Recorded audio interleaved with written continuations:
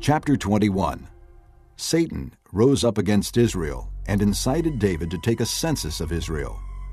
So David said to Joab and the commanders of the troops, Go and count the Israelites from Beersheba to Dan, then report back to me so that I may know how many there are.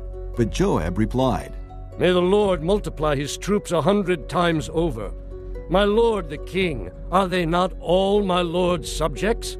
Why does my lord want to do this? Why should he bring guilt on Israel? The king's word, however, overruled Joab.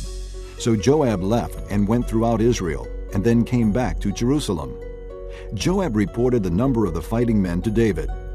In all Israel there were 1,100,000 men who could handle a sword, including 470,000 in Judah. But Joab did not include Levi and Benjamin in the numbering, because the king's command was repulsive to him. This command was also evil in the sight of God, so he punished Israel. Then David said to God, I have sinned greatly by doing this. Now I beg you, take away the guilt of your servant. I have done a very foolish thing. The Lord said to Gad, David's seer, Go and tell David, This is what the Lord says I am giving you three options. Choose one of them for me to carry out against you. So Gad went to David and said to him, This is what the Lord says Take your choice. Three years of famine, three months of being swept away before your enemies with their swords overtaking you, or three days of the sword of the Lord, days of plague in the land, with the angel of the Lord ravaging every part of Israel. Now then, decide how I should answer the one who sent me. David said to Gad, I am in deep distress. Let me fall into the hands of the Lord, for his mercy is very great. But do not let me fall into the hands of men. So the Lord sent a plague on Israel, and 70,000 men of Israel fell dead. And God sent an angel to destroy Jerusalem.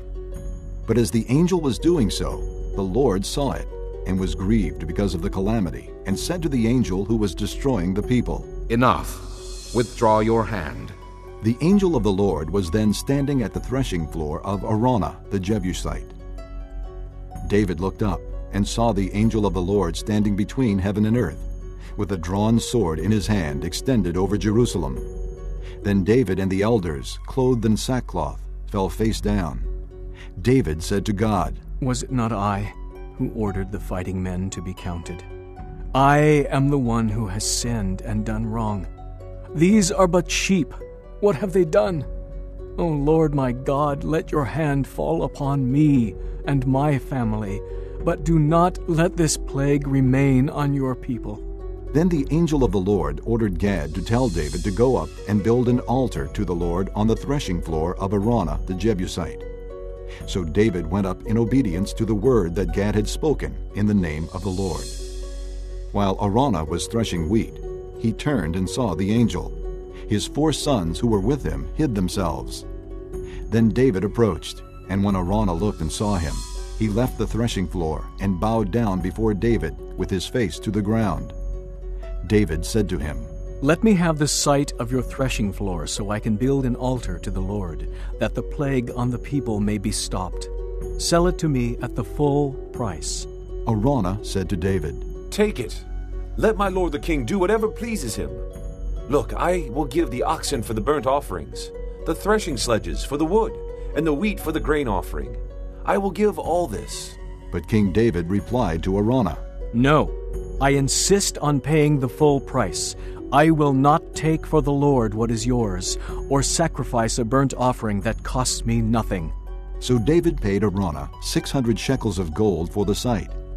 David built an altar to the Lord there, and sacrificed burnt offerings and fellowship offerings. He called on the Lord, and the Lord answered him with fire from heaven on the altar of burnt offering. Then the Lord spoke to the angel, and he put his sword back into its sheath. At that time, when David saw that the Lord had answered him on the threshing floor of Araunah the Jebusite, he offered sacrifices there. The tabernacle of the Lord, which Moses had made in the desert, and the altar of burnt offering were at that time on the high place at Gibeon. But David could not go before it to inquire of God, because he was afraid of the sword of the angel of the Lord.